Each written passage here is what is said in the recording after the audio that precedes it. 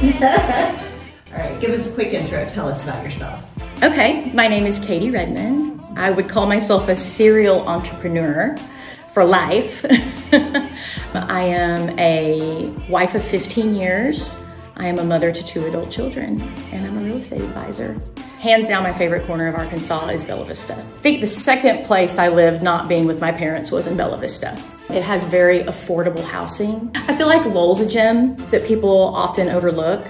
Here in Northwest Arkansas, everything is about location and that means proximity to the interstate for me. And so Lowell really provides that service to people. My favorite part about working in real estate is being able to help my friends and family. I find a lot of joy in that. One beverage that I would want every day for the rest of my life would be sparkling water. I'm a water snob.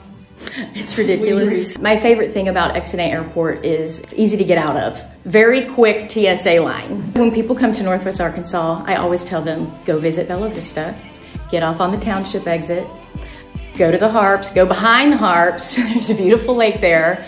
And if you're here in the fall, it's very likely you're gonna get to see a bald eagle. What I love most about being a part of the Engel and Völkers brand is its global reach. The next big milestone in my life is getting my broker's license. I've already done all my classwork and I'm scheduled to take my exam. So I'm excited to provide that service and knowledge to my clients. Something I definitely try to live by is treating others the way I would like to be treated.